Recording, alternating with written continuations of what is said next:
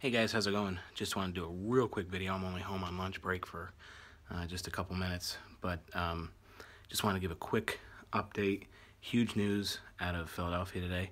Um, Josh Huff, wide receiver, has been released from the team. Um, this is obviously stemming from um, the arrest that took place earlier this week, where he was caught speeding, or he's pulled over for speeding, and um, while conducting the invest not the investigation, but while conducting the traffic stop, the um, officer found uh, that Josh Huff was in possession of not only uh, some marijuana, but also uh, a firearm.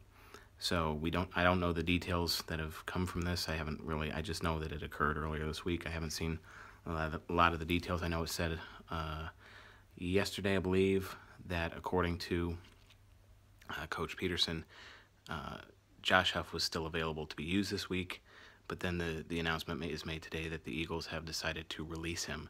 So Josh Huff, wide receiver from the Eagles, uh, has been released. I'm going to try and make another video tonight diving a little bit farther into this when I go home from work, but just want to do something real quick right now since it was just announced about a half hour ago that Josh Huff has been released. So the Eagles' wide receiver woes are going to continue because not only was he a wide receiver, but he was also one of the key members of the special teams and has been um, really key in setting up some of the Eagles' uh, good field positions uh, in recent weeks. So, big news out of Philly today.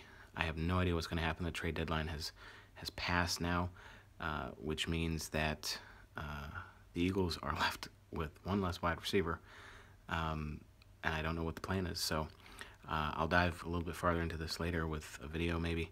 Uh, but just wanted to put out my shock that the Philadelphia Eagles have released wide receiver Josh Huff. So the best of luck to him.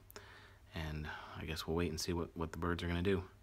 Uh, but until later, fly Eagles fly. Go birds.